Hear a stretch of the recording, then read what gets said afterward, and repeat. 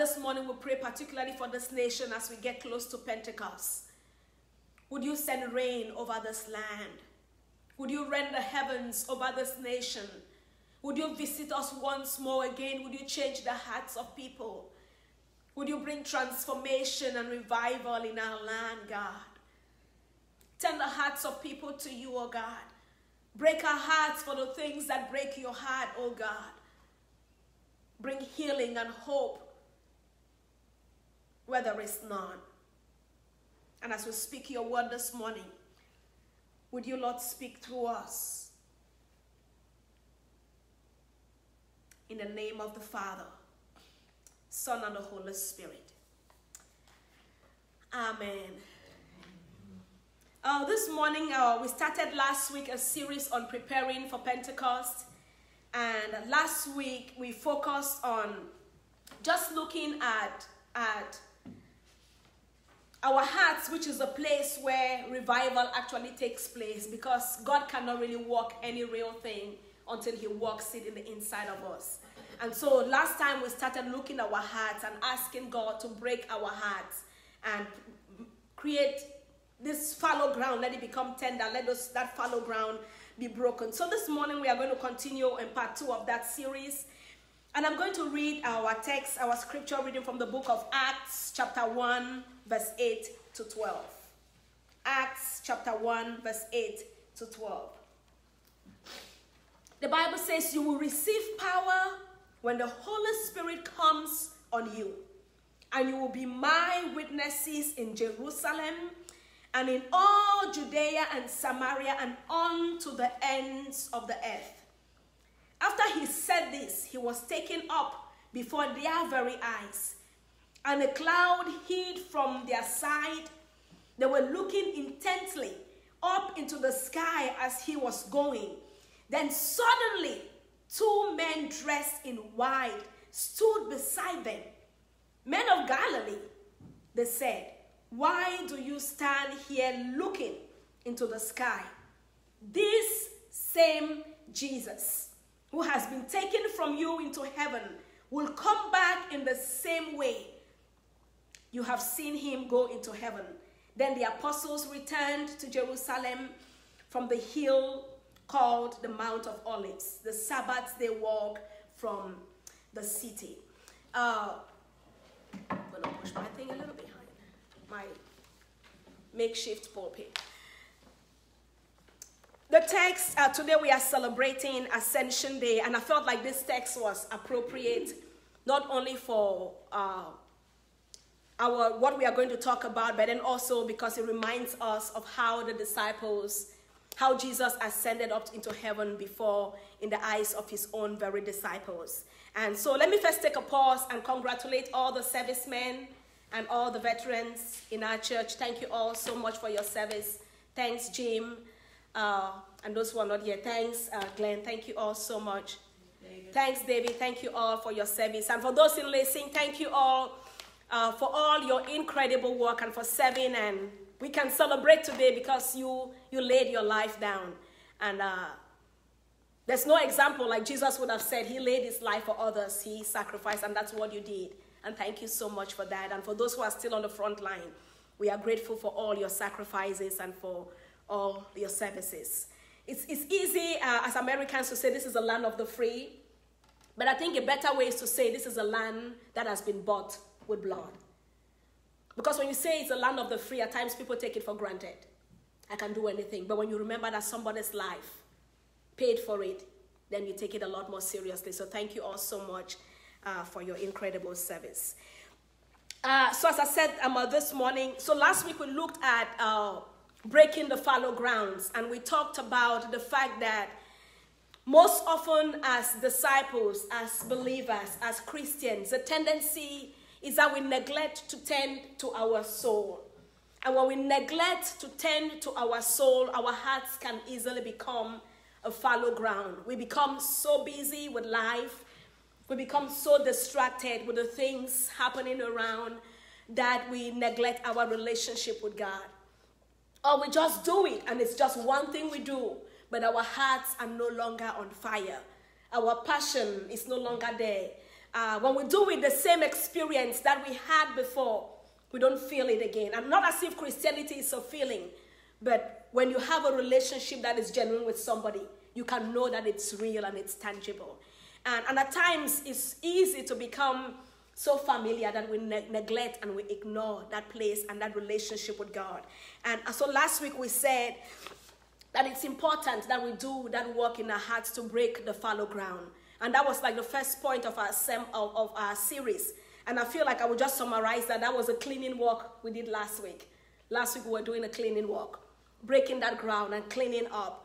And when we talk about the cleaning work, we are talking about going coming to a place of repentance, recognizing that uh, we have not walked in the way God expected us to walk, and uh, and after we have done that cleaning work, and after we have done that um, work of, of transformation, I wanted to just read a few texts that um, uh, came back that I felt like I, should, I wanted to just go back over it again from last week. Hosea chapter 10, that was like a key text, chapter 10, verse 12 and 13 says, Sow righteousness for yourselves, reap the fruit of unfailing love, and break up your unplowed ground.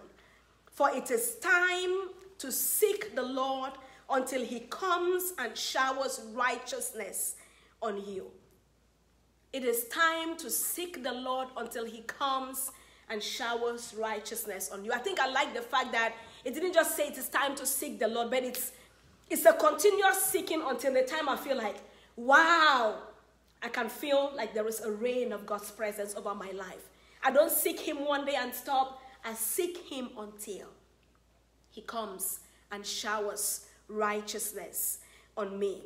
And He says, But you have planted wickedness, you have reaped evil, you have eaten the fruit of deception because you have depended on your own strength and your own warriors. How many times have we thought, I've got this?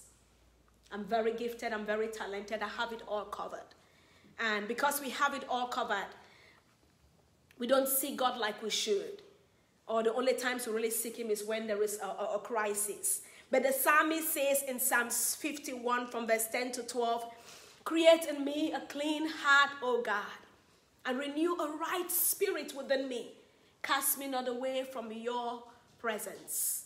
Take not your Holy Spirit from me. Restore to me the joy of your salvation and uphold in me a willing spirit. How I wish that would be our prayer every day, create in me, oh God, a clean heart. Because it's easy for our hearts to become sold. We live in a world where people will do stuff to us, and it's easy to get upset. It's easy to want to walk in unforgiveness. It's easy to want to. And it, it's not the big things, it's the little things that easily creep into our heart. And at times, our heart becomes hardened and bitter and weary and tired. Uh, but the psalmist says, God created me a clean heart, renew a right spirit within me.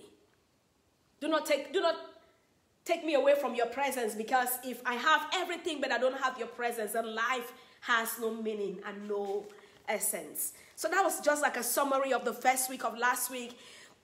Uh, but then this week I wanted us to go a little further. After we have had our house clean and our hearts are ready and our hearts are soft and the ground is tender, how, how do we prepare for this Pentecost? I think expectation becomes incredible. But you can't have expectation until you are able to look back to know what God did in the past. How can I expect something when I don't know how it's always been? Uh, back home in Cameroon, we have um, uh, an exam that we take in junior high, at the end of junior high, when you're finishing junior high, and then you also take it when you're finishing high school. It's a national exam. So it's the same exam for every student everywhere in the country. And uh, most often, when you are going to prepare for the exam, the, your teachers will encourage you look for the questions for at least the past 10 years. And if you could review the questions and answer them and know how to deal with them. When you go to your exam room, the tendency is there might be the same question that shows up. The language might be different, but it's going to be the same question. So if you can go back and review the past 10 years and prepare yourself very well, there is no way you can fail for that exam. Because you would there's an expectation you have. There is you have an idea of what the exam always looks like. And in the past generations in the past years there are things that god has done that is a result of pentecost. There are things that the bible shows of what happened in pentecost. But then we have also seen times when god moved mightily as a result of a fresh outpouring of his spirit upon his church and upon his people. So when we, ha- when we have an idea of what God did in the past, we can know what to expect today.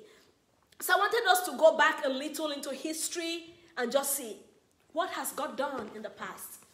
How has God shaped generations as a result of the outpour of the Holy Spirit upon his people and upon his church? Think my notes are a little like. the first one is in the book of Acts. Uh, the Bible says in Acts 1 8, but you shall receive power, is a text we read, when the Holy Spirit comes upon you, and you will be witnesses to me in Jerusalem, in Judea, in Samaria, and to the ends of the earth. The purpose for which the Holy Spirit comes is to empower us to witness. That's, that's the main key. Everything else is secondary.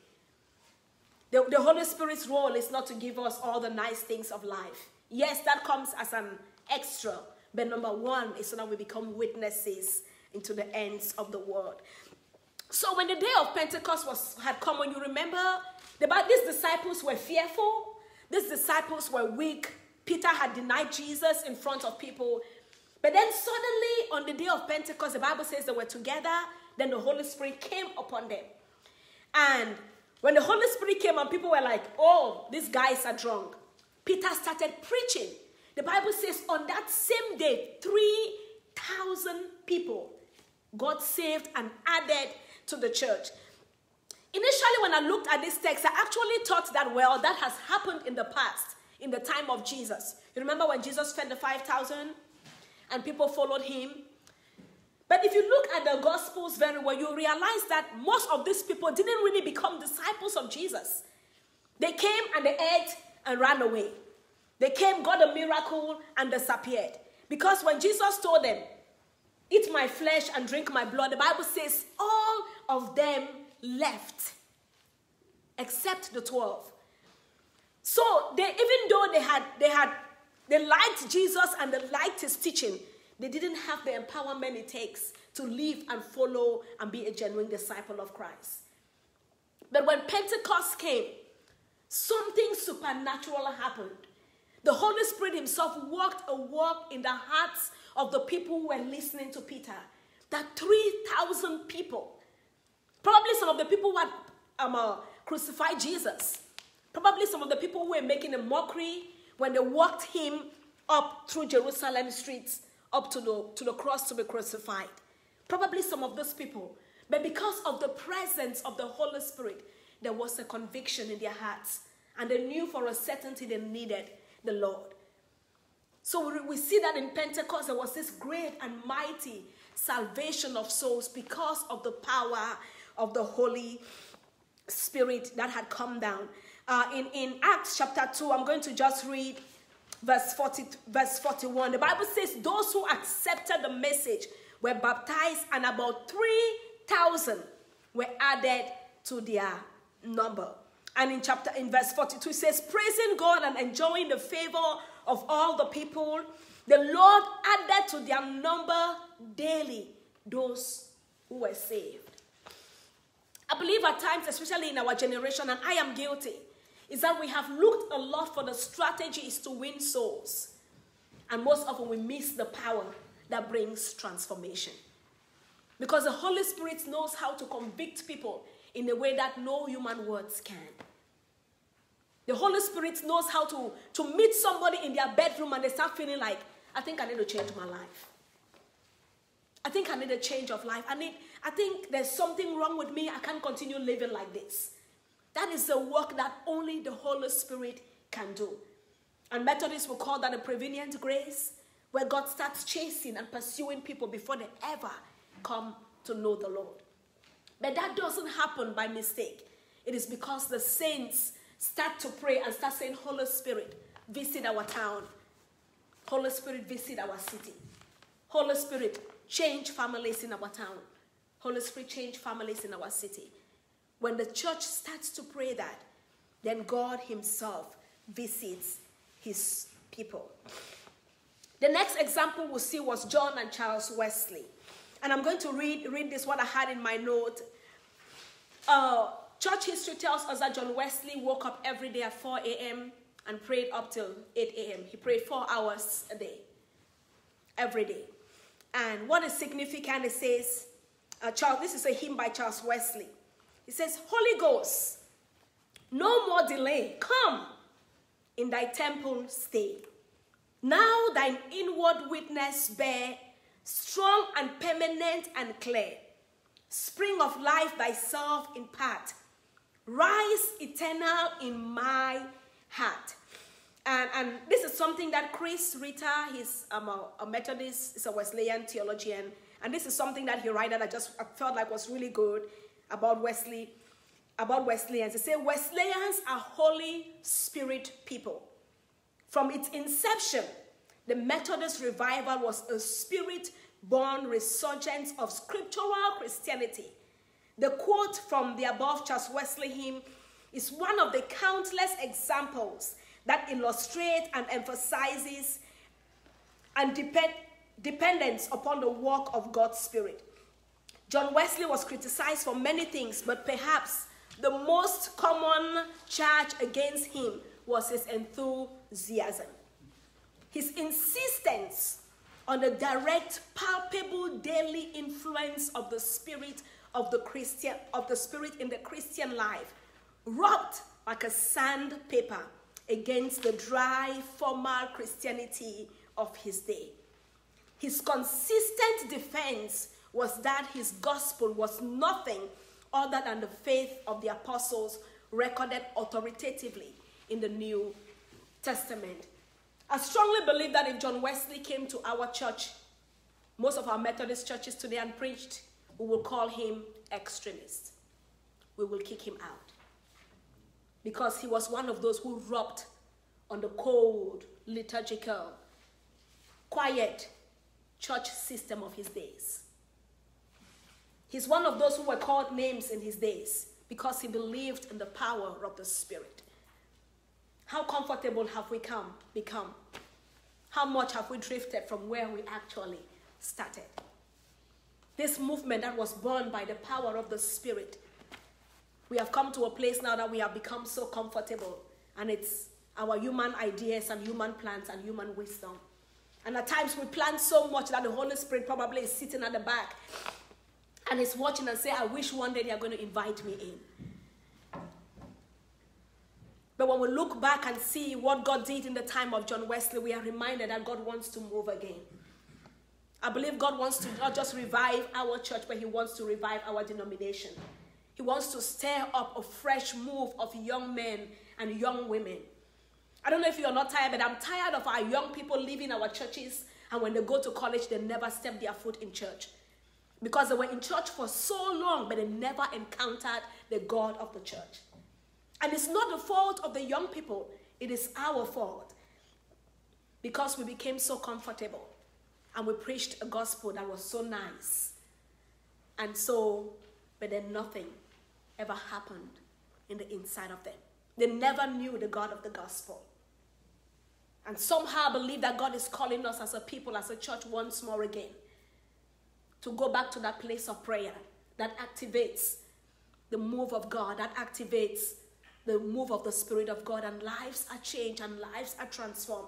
We might not have many kids in, in, in our congregation, but there are so many of them all over that we can be intercessors and ask God to encounter them and ask God to change them and ask God to transform their lives. We also have movements like the first and the second great awakening and Hebrides revivals and the Asbury revivals, the Azusa revivals, where people were flogging from their houses and just running to church. They didn't even know why they were coming. Charles Finney will be coming into a town. I think I probably told the story. He will be coming into a town and maybe he will be just somewhere around Louisburg, and everybody in La Cygne will start going to the police station to report their crimes because of the heavy conviction of the spirit that was coming upon them. How incredible is that? That had nothing to do with a, a, human being, it had something to do with people who were on their knees and saying, God, we need you once more. We need you to visit our land. We need you to visit our nation. We need you to visit our cities. But I think this one, Peggy and Christina Smith from the Hebrides the revival, really caught my heart because I felt um, uh, it's easy. Most of our congregations are a little older, and it's easy at times to say, Well, I'm not young again. I can't go out and preach like, oh, like you want me to preach. But these were two women that I think we can copy from them. And if what happens if all of us in this sanctuary and those watching start doing what they did? The Bible, uh, uh, sorry, I said the Bible says. Church history says they prayed about Peggy and Christina Smith. They prayed the promise in a small cottage by the roadside in the village of Barvas lived two elderly women, Peggy and Christina Smith. They were sisters. They were 84 and 82 years old. Did anybody hear that? They were 84 and 82 years old. A lot older than almost all of us in this place. Peggy was blind and her sister almost bent double with arthritis. Unable to attend public service, their humble cottage became a sanctuary where they met with God. To them came the promise I will pour water upon him that is thirsty and flood upon the dry ground. They pleaded this day and night in prayer. If you read the entire story, they prayed so much, and then God started telling them, when it was time, God told them, call the pastors. And they were the ones telling the pastor, it's time to pray because a revival is coming to town. So you don't have to be a pastor to, to be used by God to birth for the movement that changes the entire city. When it was time for, for, for them to bring a minister, they knew the Holy Spirit told them. And they told the pastor, their pastor, said, Pastor, would you invite a, an evangelist now to town? And when they, there was somebody who came first, they were like, No, that is not a person. When the second person came, they said, Yes, this is a person. Why would they be so sensitive? Because their heart was passionate in prayer and asking God for a revival. And if what happens if we start to really make that kind of intercession for New Lancaster and for La Cygne and for Lane County and saying, God, would you pour water on the dry ground? Would you walk a walk? And the Hebrides revival lasted for so long farmers, people will be in their farm and just start fall on the ground and just start weeping and crying because a strong conviction will come upon them. And suddenly everybody on the farm will start crying, and then they will call somebody to come and preach, and they will all get saved on the farm. And they had to retrain their horses because their horses were taught to obey curse words. When they all got saved, they couldn't use curse words again. They had to retrain their horses. Because when they would say this, the horse would be like, What are you saying? I don't know what to do. They'd retrained their horses. Two elderly women, one blind, one bent over with arthritis. What, like, I mean, in my mind, I'm imagining which excuse do I have? Those are the, you say these are the weakest people in society. Why would God choose a blind 84 year old woman a woman bent over with arthritis, 82 years, or who cannot walk, to birth a movement in an entire city. I think he's wanting to let us know, Velma, you don't have an excuse. He says, I use the weak so that at the end of the day, nobody's going to say, because you're a pastor, that's why I did it. To let us know that he can use anybody, anytime, in any place. And we can be used by him if we say, God, I'm available. So that is what God did in the past. So how what is God doing today? Uh, there is if you if you have time, there is there are some documentaries on transformations. If you, if you click transformation revivals, you will have several documentaries pop up of whole cities, of whole nations that have been changed and transformed. Um, in, in Colombia, a town called Cali, there was like drugs everywhere, just wickedness everywhere. People were being killed every day. But a group of people started praying. And God moved in Cali, and the drug law, the drug war, the let's say the drug lords, all of them were arrested. The drugs went down. Like God just intervened and changed the entire city, and there was just a revival and a movement that was birth because some believers decided to pray. Not only is God working, not only did God work in, the, in, in, in Colombia, but God is working in the global south. The global south is like where I'm coming from in Africa, in Asia, where people, like in South Korea, people go up the prayer mountain and just ask God, God, would you change our city? Rain upon our nation. Come, Holy Spirit, come. And what would happen if today we would start, just start praying that God, rain your spirit on us. And I felt like, so what is our responsibility? I believe that God is calling us to become intercessors as we get ready for Pentecost. To start praying and not just pray until Pentecost next Sunday to stop, but to ask God to baptize us with a fresh grace, to pray until our city is changed, to pray until our nation is transformed. And I thought, what happens when we watch the news? How do you watch the news? When you watch the news, is it just to get information and then criticize a leader on Facebook? Or does your heart break when you see how people are being killed? Does your heart break when you see the division among our politicians? Does your heart break when you see how people, the words people who are supposed to be our leaders used against each other? Does, does something in the inside of you, does, does it mean anything or have we become comfortable and it has become like, well, that is it, that's America. I don't believe that is this nation. I don't believe that is it. I believe we've given the enemy a place so long that he's invaded. And somehow the church has sat back and just watched and said, well, I can post it on Facebook. But what if we started going back on our knees and saying, God, visit our land again? Visit our nation again. Change things around. I'm tired of seeing seeing young people committing suicide. I'm tired of the rate of young people, elementary school kids on drugs. I am tired. I'm tired of teenagers wasting their lives. I'm tired of families, the abuse, the, the rate of murder. I don't think there's any other nation except a nation with war where there is so much killing of ordinary people. Like you kill your own brother and sister. I believe it's time for the church to awake. My prayer is that in this, I'm sorry, that in this season of, of, of Pentecost, that God will stir up something in the inside of us that will not be comfortable. God wants us to change the nation, to change the system. It's not okay for a nation.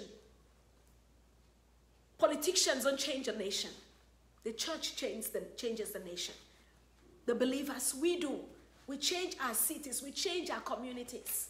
We are the ones that God has called. So as we get ready for Pentecost, would you, you might not pray for everything in the nation, but can you pick one city? Can you pick one family? Can you pick one age group and say, God, would you visit them? Can you pick maybe the people on drugs and say, God, would you set them free?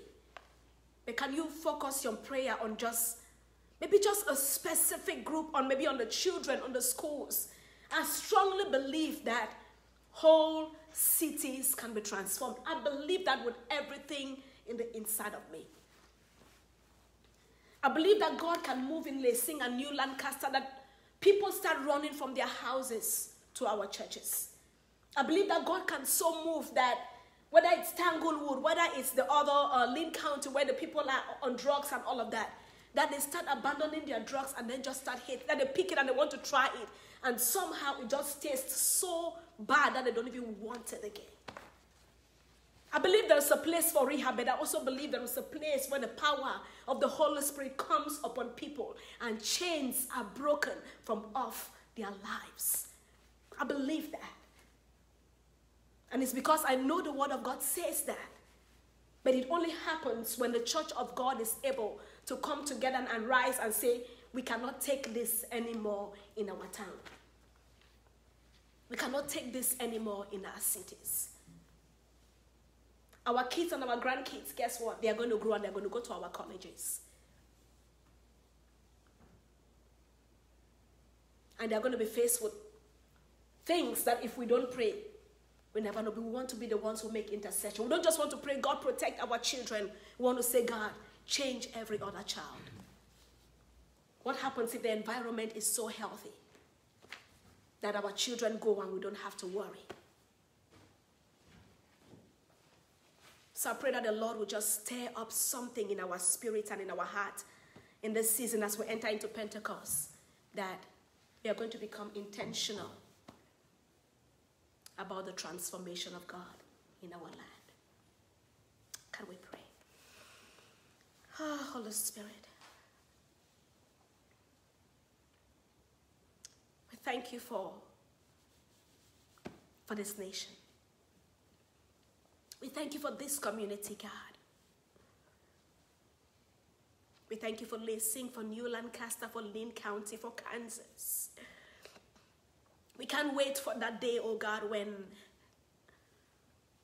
there is no crime, there is no wickedness, there is no, when lives are so changed, God, in our communities that people are running into your kingdom. We can't wait for that. But we know, God, you can't do it without us because you're looking for a man and a woman to partner with. And so we come, Spirit of the living God, and we say, Lord, we choose to forget the former things, and you say, Behold, you do a new thing. Use us, oh God. Use us for that purposes. May we be your witnesses. May we be your intercessors for the nations. We avail ourselves to you, Spirit of the living God. Use us. Baptize us afresh with the spirit of grace and intercession. And may we not be complacent anymore. Break our hearts for the things that break your heart. And may we be your church indeed. In Jesus' name. Amen. Jackie,